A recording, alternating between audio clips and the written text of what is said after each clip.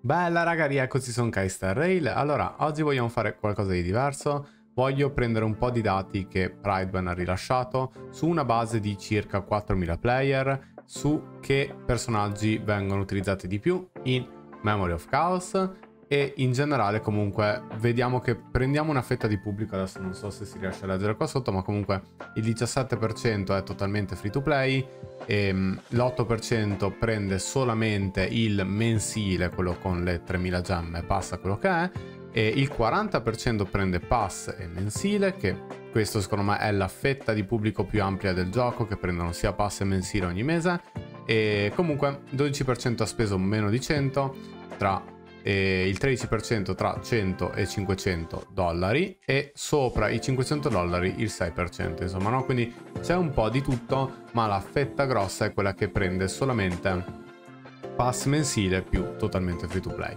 Comunque, detto questo, iniziamo, vediamo un po' che cosa abbiamo i numeri alla mano, insomma, no? E abbiamo i personaggi che appaiono di più nei team delle persone. Ovviamente eh, è chiaramente molto spostato sulla presenza di banner limited, ma anche alla spesa che c'è stata fatta che c'è stata su questi banner limited e anche secondo me alle date di rilascio, ma comunque eh, infatti vediamo che è molto eh, è, è, molto da free to play anche la percentuale secondo me perché abbiamo Zele che ha un 79.80% di utilizzo che è altissimo perché ovviamente è stato il primo banner, è un'ottima unità l'hanno pullata in tanti, dopo con Jing Yuan giustamente free to play non avevano pull, l'hanno lasciato lì, in quel senso lì la maggior parte, o comunque una buona parte, buona parte l'ha comunque pullato, e poi con Silverwolf è stata presa tantissimo perché sappiamo che Silverwolf è, eh, come si diceva già, come dicevo già da tempo, Silverwolf è quel personaggio che secondo me in Star Rail ha più valore in assoluto, almeno per il momento,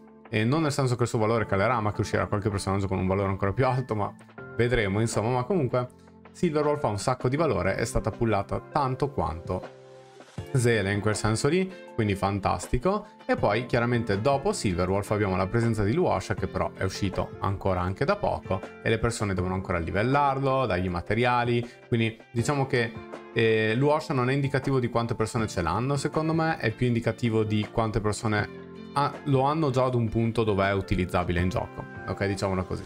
Comunque lasciando stare i limited che quindi sicuramente sono utilizzati. E tra i personaggi standard ovviamente è un po' difficile riuscire a dare una percentuale di utilizzo dei personaggi standard perché devi trovarli, no? Ognuno di voi ha delle combinazioni di personaggi standard trovati diversi, che siano Eidolon, alcuni non hanno trovato personaggi, hanno trovato Lightcon, quindi diciamo che in generale quanto vedi un'unità qui e non mi fa impazzire sotto quell'aspetto lì perché e al momento è troppo presto, è passato troppo poco tempo dal rilascio del gioco per eh, dare un'importanza alle percentuali che vediamo qua. Nel senso, se io faccio Memory of Chaos adesso e se lo faccio tra sei mesi, tra sei mesi è più probabile che molte persone abbiano più personaggi standard 5 stelle e che quindi eh, ci sia più... Mh, mm, ci sia più probabilità che alcuni personaggi non vengano usati perché semplicemente pers- i, le persone non li hanno, no?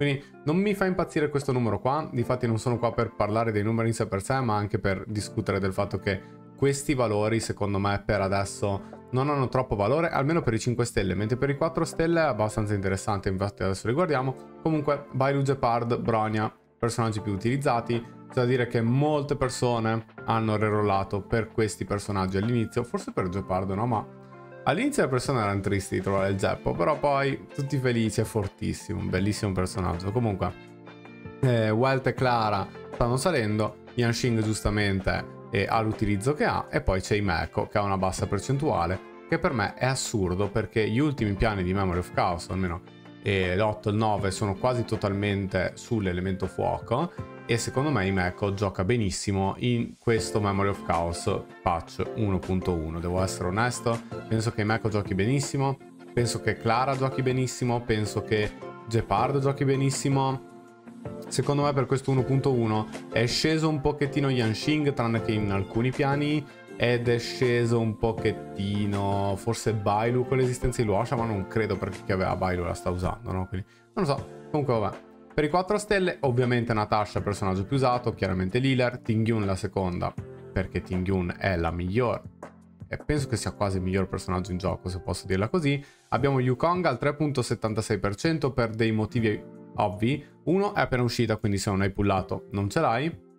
E seconda cosa, ehm, per chi ce l'ha deve ancora magari buildarla, quindi c'è anche il problema del quanto tempo l'ho buildata, quindi questo 3% su Yukong mi viene da dire che sarà qualcuno che effettivamente ci ha speso qualcosina. E, ehm, e, poi c'è anche un discorso di capire ottimizzazione, se Yukong va meglio di qualcuno, eccetera, eccetera, no? Quindi Yukong percentuale bassa qua non ha valore, insomma, come, come riferimento perché è troppo presto. Diciamo che nella 1.2 si parlerà molto meglio di presenza di Yukong nei team eventualmente, anche perché è molto difficile che Yukong secondo me veda un valore di gioco alto quando c'è una Bronia al 40% di utilizzo, ok? E io dubito che vedremo team con Bronia più Yukong, sono due personaggi che spendono troppi skill point per essere giocati insieme. E secondo me chi ha livellato Bronia non livellerà Yukong se non per fare i team specifici, ma in quel caso lì stiamo parlando della presenza eh, sicuramente di Welt o sicuramente di Luosha, quindi le percentuali penso che rimarranno relativamente basse. Ovviamente main character fuoco molto utilizzato per via della presenza enorme dell'elemento fuoco in questo Memory of Chaos e della Renna. E, um, Marzo 7 sempre verde, molto comoda. Pela ovviamente con un Memory of Chaos dove e debuff ai nemici e comunque la meccanica di debuff che ci fa fare più danni è super presente, molto importante. Asta personaggio sempre verde, su Shang la usi quando i nemici sono deboli al fisico, quindi fantastica. E, e, poi abbiamo un po' di personaggi usati meno. Il che mi stupisce è Serval solo 11% perché per me Serval è utilizzatissima in questo Memory of Chaos. Penso che quasi in ogni piano tu possa utilizzare Serval in questo Memory of Chaos, forse tranne in 2-3, ma forse in, tranne in due piani credo. E mi stupisce 11% di Serval, e penso sia legato alla presenza di Jing Yuan al 50%, però non so, ripeto, qua stiamo parlando di un pubblico che ha eh, 4.000 persone, è poco, è veramente poco, insomma non abbiamo dei riferimenti molto buoni, tra l'altro non tutte queste 4.000 persone hanno secondo me fatto Memory of Chaos dall'1 ad almeno fino al 7, ok? Quindi non penso che sia un riferimento buono. QQ al 6% che purtroppo è legato alla presenza di Zela all'80%, però eh, Shui è un personaggio formidabile per chi mi segue in live, sta vedendo che razza di mostro sta diventando questo personaggio una volta che fa l'80 con neanche delle relic buone, diventa veramente forte, con Eidolon diventa a tutti gli effetti uno dei migliori personaggi del gioco a mio parere, eh, ma comunque eh, QQ secondo me eh, la, la, presenza di Zele la manda un po' indietro, eh, però per chi non ha pullato Zele invece sta utilizzando un personaggio Quantum che secondo me gli sta dando parecchie gioie, soprattutto poi in presenza di una Silverwolf. Quindi questa percentuale ha senso. Le percentuali di Serval e QQ hanno senso in ottica della presenza di Zele e Jingyuan, mentre per quanto riguarda Danang, Danang non piace a molti quando in realtà è, è molto forte e, e l'esistenza della sua trace che gli dà penetrazione elementale vento è devastante, lo rende uno dei DPS con potenziale di danno più alto del gioco, a mio parere. E l'unica cosa di Danang è che secondo me lo usano in pochi, ehm, perché m- molte persone lo stan- stanno aspettando Blade. Ma io non credo che Danang lo usino in pochi in realtà, penso che lo usi tanta gente, semplicemente non è abbastanza tirato su e portato su da poterlo giocare in Memory of Chaos, questo penso sia il problema al momento per alcune persone. Io penso che ehm, quindi ci sia la gente che non l'ha ancora tirato su abbastanza e poi quelli che stanno aspettando Blade che chiaramente non livellano un personaggio vento perché è in arrivo Blade, no? E Yukong abbiamo visto, main character fisico ovviamente ha una percentuale bassa di utilizzo perché quella del fuoco è molto alta, ma c'è da dire che in spot fisici il main character fisico è molto molto molto forte, super sottovalutato da un sacco di persone. Per me e, um, questo è un altro insieme ad Anang che hanno i moltiplicatori più alti del gioco, anche più alti dei, dei 5 stelle in realtà. Quindi tremendamente forte, molto sottovalutato, ma capisco che la presenza alta di main character fuoco eh, sia la conseguenza, cioè, sia il motivo per il quale il main, character, il main character fisico invece è giocato poco. Sampo purtroppo 3% perché ehm, non c'è una... Ah, a parte che ovviamente Sampo è in attesa di una Kafka per essere giocato in un determinato modo, o comunque per essere giocato DPS bene ha bisogno di Eidolon, in quel senso lì, però e secondo me la variante Break Effect di Sampo è giocabile in tutti i livelli di Memory of Chaos, semplicemente non sta venendo parlata né scoperta né toccata, ma se volete un po' sapere di più sulla variante Break Effect di Sampo ho fatto un video, ve lo consiglio. Molto carino, molto carino. Tra l'altro livellare Sampo non ti vieta in nessun modo di giocare Blade e quindi è un'ottima opzione a prescindere. E vabbè, in generale è un buon PG. Hook 2.7% mi stupisce perché per me Hook è... dopo QQ penso sia... Allora, per... io ho una... ho una mia tier list personale di personaggi 4 stelle nel gioco e dove QQ, Serval e Hook sono i tre migliori personaggi 4 stelle del gioco, ok? E a livello di DPS sto parlando, ma anche sopra volendo anche i 5 stelle in base alle build, insomma. Comunque, Hook tremendamente forte, mi stupisce vederla al 2.7% considerando quanto elemento fuoco c'è eh, nel Memory of Chaos, c'è da dire che però eh, la presenza di Silverwolf rende anche un po' eh, reali tutte queste percentuali, no? Quindi è abbastanza interessante. Erta e Arlan, no love, e quindi rip, anche se Erta secondo me un po' di persone la stanno iniziando a portare all'80 e a scoprire che è buildata bene, crit eccetera eccetera, rende bene. Arlan secondo me non è un personaggio eh, giocabile in Memory of Chaos. Non ha un kit che ti consente di giocare Arlan in Memory of Chaos o non ha un personaggio vicino che eh, funziona bene con lui onestamente. Servirebbe uno shielder automatico per giocare Arlan e al momento non ce l'abbiamo in gioco. Quindi pazienzina, quindi per ora questa è la percentuale di personaggi che abbiamo visto in Memory of Chaos o comunque che hanno visto loro in questa pool di 4000 player. E, um, altre dati interessanti sono i team, come vedete stesso discorso qua, quindi siamo intorno ai 3800 player, insomma quali sono stati i team che hanno visto di più in percentuale. Ovviamente Zela per carry, team classico per fare piano 6 ad esempio, ma anche altri piani, anche se a me solitamente main character fuoco io fuori dal piano 6 non lo uso con questo team, quindi non saprei perché ha una percentuale così alta, probabilmente proprio in riferimento al piano 6. Poi abbiamo Mono Jingyuan Elettro con Silverwolf Jingyuan Tingyun Bailu, sensatissimo, molto bello. Il fatto che ci sia una percentuale alta su ehm, 3800 persone che hanno Jingyuan, Silverwolf e Bailu mi stupisce parecchio, però va bene. E Jingyuan Hypercarry dove ovviamente al posto di Bailu ehm, si mette main character fuoco, al posto di Silverwolf, vabbè, classici, no? Quindi abbiamo tutti i team carry questo è un team che io sto utilizzando da di recente, tra l'altro al posto di Natasha metto il Washa spesso, ed è fuori di testa.